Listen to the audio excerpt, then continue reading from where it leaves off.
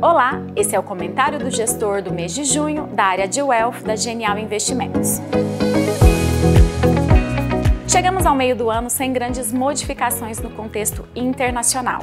Temos, por um lado, guerra e, por outro lado, pandemia, que continua impactando e acelerando a inflação mundial. Na Europa, a inflação segue acentuada, em 8,1% ao ano.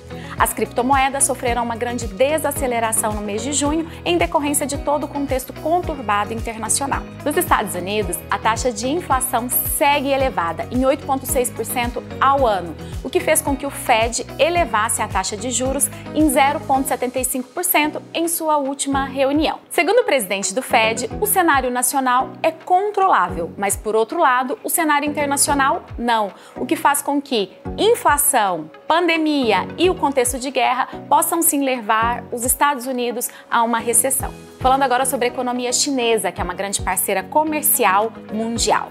No mês de abril, essa economia passou por grandes períodos de lockdown, o que levou a uma desaceleração econômica. Mas, por outro lado, em maio, diante dos pacotes de estímulos governamentais e também da reabertura dessa economia, ela já começou a apresentar sinais de recuperação ou seja, exportação e importações em níveis já aceitáveis e também uma queda da taxa de desemprego. Todo esse cenário internacional, somado a questões nacionais, como por exemplo, a aproximação das eleições e também a investigação do desvio de verbas do Ministério da Educação, dita um ritmo da economia brasileira.